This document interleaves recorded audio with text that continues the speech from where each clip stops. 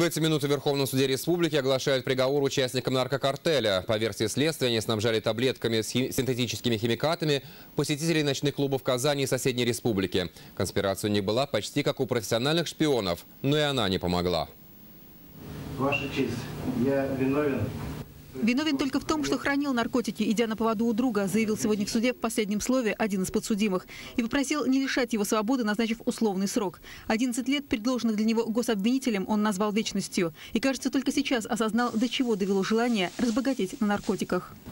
Студент одного из вузов, бармен, охранник, начальник службы безопасности ночного клуба. До того, как попасть в руки к следователям, многие из этих людей даже не догадывались, что являются звеньями одной наркоцепи. Столь пристальное внимание конспирации уделялось в этом наркокартеле. Снабжать амфетаминовым допингом ночные заведения Татарстана и Чувашии, по версии следствия, они начали в 2010 году. Среди а, участников преступного сообщества а, некоторые состояли в ОПГ «Жилка» и в ОПГ «Вражный двор».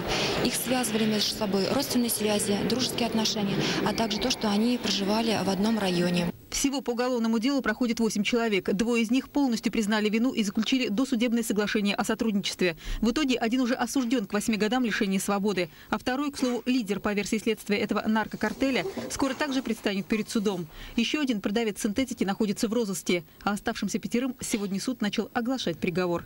Инна Данилова, Айдар Кунафин, Вести, Татарстан.